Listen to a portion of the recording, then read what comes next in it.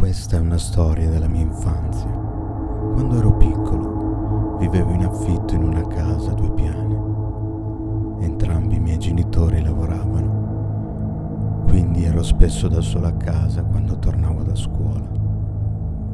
Un tardo pomeriggio tornai a casa e dentro era ancora tutto buio.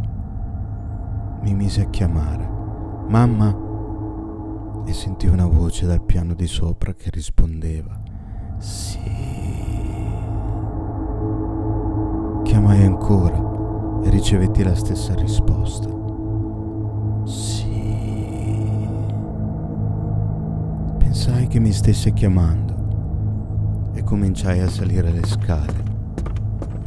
Arrivato al primo piano, la chiamai ancora una volta e sentì la voce che mi rispondeva nuovamente. Sì. Arrivare dalla stanza più lontana, in fondo al corridoio. Mi sentivo inquieto e provai un forte desiderio di vedere mia madre, quindi cominciai ad andare verso la porta della stanza. Proprio in quel momento sentì aprirsi la porta principale di sotto e vide mia madre entrare con alcune borse della spesa. Tesoro, sei a casa?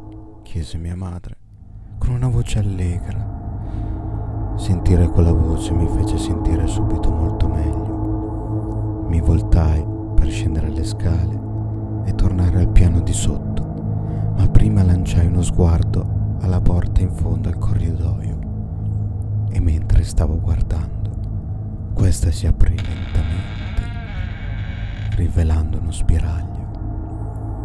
Per un brevissimo momento vidi qualcosa di strano nella stanza. Un volto pallido e sorridente che mi guardava.